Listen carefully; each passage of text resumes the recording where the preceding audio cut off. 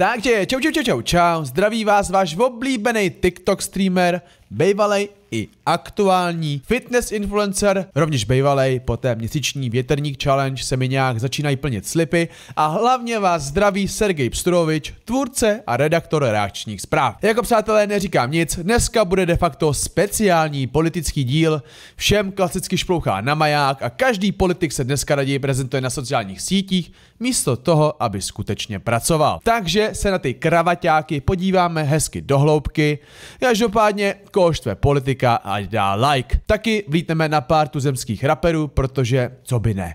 Takže kdo poslouchá rap, dá like a kdo neposlouchá rap, tak ho dá taky.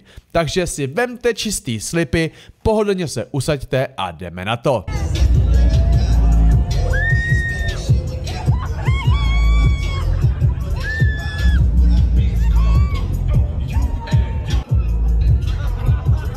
Kdyby viděla stáňa!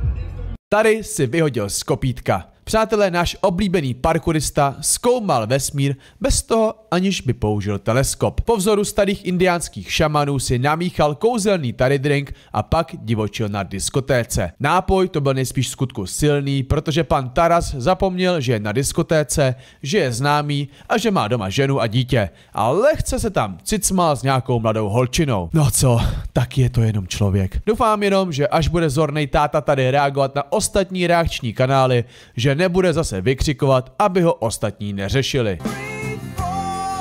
Krasavec z One Direction si spletl Direction a spadl z hotelového balkonu, údajně potom, co toho měl v těle víc, jak holaky s opatem. Takhle, nám všem to bylo jasný, ale teď to máme černý na bílým. Policie provedla razy v hotelovém pokoji a našla tam léky a kouzelný růžový prášek. Takže tak no. Vážení diváci, vážení posluchači, vítám vás podcastu Sorry jako a omlouvám se, že to tak dlouho trvalo, než jsme tady zase pro vás. No a mám tady exkluzivního hosta a já doufám, že to bude trvalý host a je to Karel Havlíček, náš stínový premiér, lepší premiér, zahnutí ano. Babiš podcaster. Takhle, já bych ho nevolil, ale tohle je udělaný chytře. Podcasty dnešní době působí jako nejlepší a nejvíce transparentní zdroj k předávání jakýkoliv informací. Babiš může využít podcast jako platformu pro přímé oslovení svých příznivců a šíření svých názorů. Například se tam jde klasická retorika, co ostatní dělají blbě a co my děláme nebo budeme dělat lépe. A jelikož naproti němu nesedí oponent, ale kolega a navíc co vypnuté komentáře, tak neexistuje v ten moment žádná opozice. Takže klasická politická manipulace pro slabší články v naší společnosti. Nicméně to asi bude lepší podcast než Oda na bambitky od pana Kadlece. Hej, to mi tak jako napadá, že když jsou ty sociální sítě tak moderní, nechtěl by si Babiš a Fiala udělat reakční kanály a rozjet proti sebe Beef Out of Nowhere a točit reakce?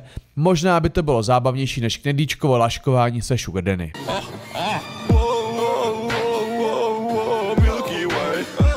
Karlo, a.k.a. Gungu, a.k.a. kurier z vlaku, byl propuštěn z vězení. Karlo dostal 7 let za převoz 1,5 kg zelené medicínky a 150 gramů pracího prášku z Kolumbie. Zbytek trestu si prý odkroutí v domácím vězení. No kluci, já jsem v té době netočil, takže jsem se k tomu neměl jak vyjádřit, ale dodnes nechápu ten hashtag Free Carlo.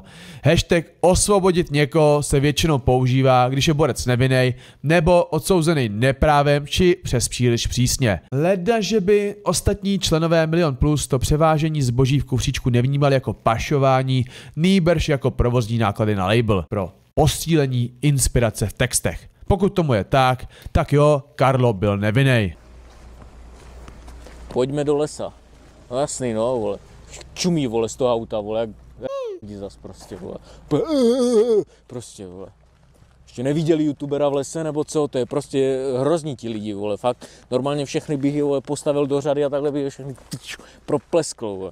Lukáš Widerman vyrazil na houby a jeho dress code byl zcela v pořádku. Víte, když jdete do lesa, tak si můžete poškodit oblečení o větvičky, zašpinit se od hlíny nebo vám může zadek zrychtovat divočák. Takže moji rodiče i babička s dědou mi vždycky říkali, že do lesa se bere to nejšednější oblečení, co se nebojí zničit. A tady náš Balenciaga Lukáš, vlastnící rolády, zkrátka doma nic levnějšího než teplákovku Adidas nemá. Takže ceníme tento houbařský drip i Lukášovo skromné chování. Jako na Lukáše si musím někdy zareagovat na streamu, protože ten koblich mě prostě baví.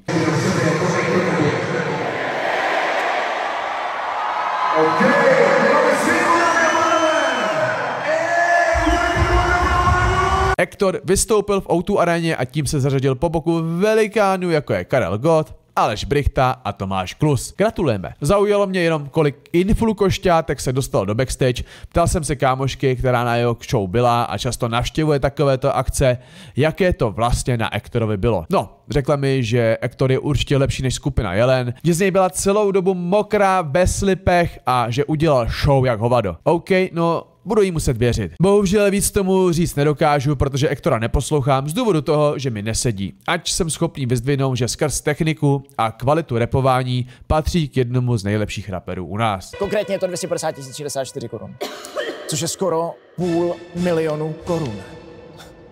Ještě než si představíme soutěžící vědomostní soutěže, představíme si její pravidla. Soutěžící se nejdříve utkají v kvalifikačním kole o své místo ve vlhkém křesle. Je to úplně mokrý. Mikýřův chcete být milionářem. Takhle, ta show po technické stránce, přípravy scén, scénáře a kostýmu, k tomu bych neměl ani jediného křivého slova. Ta práce a úsilí celého týmu je prostě vidět, jenom mě osobně prostě Mikýř absolutně nesedí. Přijde mi trapnej a vnitřně mi u něj bliká majáček, že s ním něco není v pořádku. Ale co? Zkrátka, byl jsem úplně v koncích a nevěděl jsem si rady. No a když si v životě nevíte rady, tak koho se zeptáte? Kdo první vás napadne, že vás vytáhne z průšvihu a nabídne vám pomocnou ruku či radu zkušenějšího? Samozřejmě vaše máma. No, tak se pan Sergej Psturovič zeptal mámy. Mamko, co si myslíš o Mikýřovi? A máma odpověděla, cituji, Mikýře chcanka, kam vítr tam pláž. To je ono, přesně tak. I jedna věta řekne někdy více než tisíce slov. Takže mámo díky. Osobně bych toho na pana Mikýře řekl víc, ale počkáme si, až bude točit manipulativní volební videa. Přesně podle notiček, kde nám neřekne koho volit, ale řekne nám koho nevolit. Zřejmě nějaký tvůj bývalý spolužák, protože se ptá, jestli máš doma stále ty slipy s srdíčkama, se srdíčky, eh, které jsi nosil ve škole. Ne, fakt nemám. Ale byly takové nějaké? Já ani si nepamatuju, takže nevím. Eh, Dobře. Měl jsem tam medvídky většinou. takže nevím. Kluk s kamením nosí bílé slipy s medvídkama, ovšem jenom na speciální příležitosti. Přiznám se, že tady od pana Lesíčka to byla hodně těžká podpásovka, mnohem větší, než když se ptá účastníků Bíforu na jejich body count. Nicméně kluk s kamením si nenadělal do slipů z odpovědi na tuto otázku, která trápí lidstvo už od dob Mezopotámie a odpověděl zcela z grácí takzvaně na Sibiřana. Něco zažvatal, ale ve finále nic neřekl. Když jsme u toho Sibíka, musím zklamat Chábra v komentářích, dneska Sibíkovi ani Jenisovi nakládat nebudeme, ale jak říká reakční Saša, neboj, to bude. MG Fitman dostal ban na TikToku a zařadil se mezi střelce jako je Šopoholik Adel a Pstruh. Vítej v klubu Bráško a věř mi, že nikoho z tvých sledujících to vůbec nemrzí, protože na TikToku pojem věrný fanoušek de facto neexistuje. Co teď zase streamuju na novém účtu, tak se vrací staří lidé, co mě sledovali a ty se jen diví, proč jsem přestal streamovat a přitom vůbec ani nezaregistrovali to, že bych o svůj účet přišel. Ta platforma je prostě dělaná tak, že scrolluješ, scrolluješ a tajně doufáš, že narazíš na něco, co tě bude alespoň trošku bavit. Zrovna v sobotu večer jsem s panem Hitmanem na Discordu sledovali TikTok stream dvou holčin, kde jedna byla na ostro a omylem tam ukázala trošku lasturu, no jako vydrželi jsme na jejich streamu přes hodinu, protože tam vládla příjemná atmosféra, holčiny hrály na kytaru a zpívali ale dnes už ani nevím, jak se jmenovali, takže to je to, o čem mluvím. Konec hlášení z TikToku. Pavlis Vacek zradil Filipa Turka a dal se k Pirátům. Může za to epizoda fantastického podcastu, kde se načichal travního odéru pana Kadlece a začaly mu připadat srozumitelné názory Ivana Bartoše. Klasický joke, jinak toto zranění si pan Pavlis odnesl během večerního venčení psa, kdy se mu větev zapíchla do oka. Nešikovi.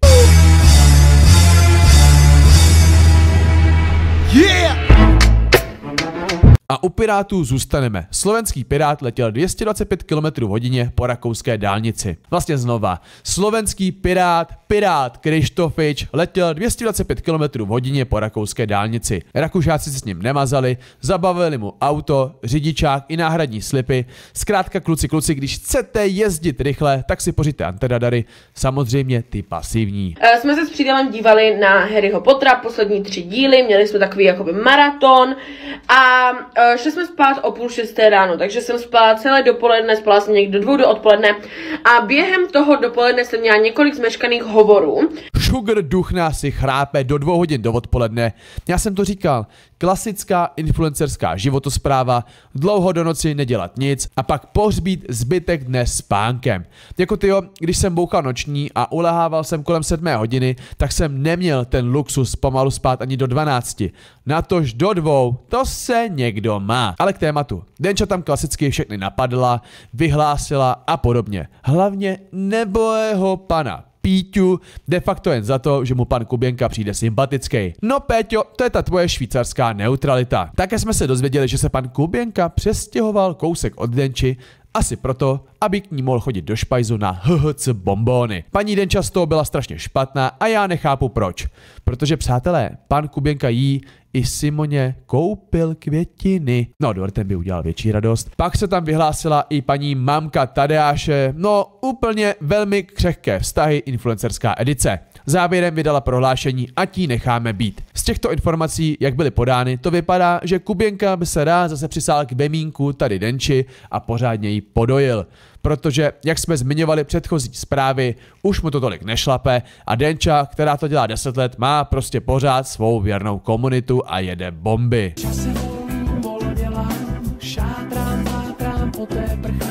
Máme tady jednoho vykutáleného podvodníčka. Knedlíček si objednal hostinu, jakou svět neviděl. Drahé láhve, drahé pokrmy a vše bylo fajn. Než došlo na zaplacení. Při zjištění částky za celou hostinu, která dosahovala 24 tisíc korun, se muži údajně udělalo nevolno a přivolal si záchranku. Což jako nepopírám, to by se smotali slipy i mě. Bohužel ale je to známá firma, která tyto drobné brikule provádí už dlouhodobě. Boris totiž dal platební kartu své přítelkyni, ale ta nebyla schopná s ní zaplatit, neboť zůstatek účtu byl v mínusu. No, Kdybychom tady měli klasický oko za oko, zub za zub, tak zlodějíčkovi by už neměli co ušmiknout. tak už jsem taky na TikToku. Možná se ptáte, proč. Petr Fiala na TikToku. Klasicky po vzoru jeho chábru evropských politických špiček si pan Fiala založil profil na TikToku. Hned ve druhém videu se sledujících ptal, jaký obsah má tvořit. Nevím, bráško, máš tam tisíc sledujících, tak si asi zkus zastreamovat. Ale jako, co to je s těma politikama? Babiš si udělá podcast, Trump zboří internet u Joe Rogana a Fiala klasicky teprve objevuje TikTok. Old MacDonald had a farm, E E-I-E-I-O. Milan Peroutka si zkusil směnu v McDonaldu, údajně je to lepší práce, než mít feed s Janem Beníkem. Ale jinak samozřejmě hlášky, jako že každá země má svého Trumpa a Trump zvyše jsou styl. Peroutka samozřejmě celou situaci vysvětlil, i když to reálně nikoho nezajímalo. Ale tak Děkujeme za snahu. Jako ale stejně zajímavý, že firmy, které jsou vlastně vnímány negativně, jako tady McDonald, Clash of the Stars, Walt Disney a podobně, mají vždycky potřebu dělat charity, aby si klasicky vylepšili PR. Samozřejmě nevidím na tom nic špatného, jen taková drobnost k zamyšlení. Terku měl rád, zastával se si tady, tak uh, mě zajímá, jak jsi to jako vnímal, prostě tady tohle, to, co se tam dělo v těch dílech a jak to prostě všichni vnímali. Ja ich mám stále rád, ja im stále tú ich lásku verím, nemyslím si, že to bolo niečo hrané, alebo že by boli dohodnutí. Otrok Kerry Kirsten. Přátelé, přátelé, než mě začnete pranířovat, že co si to vymýšlím za hlouposti, tak si sklidněte hormony ve slipech a poslouchejte. Kerry plus další lidi, co neznám, se objevili v podcastu dalších lidí, co neznám a samozřejmě, jak je tomu v influencerské době zcela běžné, tak se bavili o Love Islandu. No a ten její partneris za celou dobu neřekl ani jediné slovo, až mi ho skoro bylo líto. Jediné, co nevím, jestli nic neřekl proto, že k tomu nemá co říct, nebo proto, že nesměl nic říct. Co si o tom myslíte klasicky? Dejte vědět. barren and we're walking down the street. But we're really got amazing. We get to the White House, and now it's uh, a little bit, a little bit before dark, beautiful. And we went up to the uh, president's uh, quarters. They call them the presidential quarters. And I'm standing in this beautiful hallway. I, you know, it's funny. Nobody ever talks about the White House as being beautiful inside. You know, you think it's going to be everything's going to be all metal doors and stuff. It's not. It's so beautiful. I made my money largely on luxury. The hallway is like 25 feet wide. The ceiling heights are, you know, every. It's so beautiful. Borec týdne je Joe Rogan za to, jak dobil internet v rozhovoru s Donaldem Trumpem. Joko sakra je tomu tak. Rogan zveřejnil tříhodinový nesestříhaný rozhovor spolu s Trumpem a na sociálních sítích v komentářích to dostává snad největší podporu, jakou jsem u tohoto typu obsahu snad ještě ani neviděl. A jako co si budeme, ty čísla jsou masakr. 25 milionů zhlédnutí, 24 hodin od vydání a stále to roste, to je prostě šílený.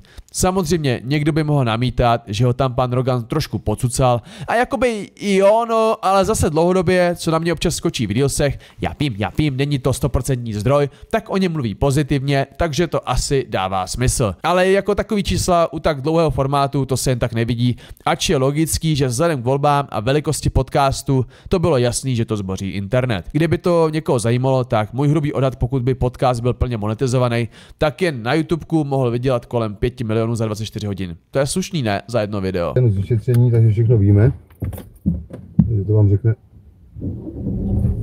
Anži za chvilku. Počkej, ještě tam nikdo není asi. Jsem dal veřejně. Vydrž. Já to musím pak dělat znova. Že včera jsem dělal že jo, streamos a všichni jste psali, držíme palce Anži. To bylo perfektní, vynikající.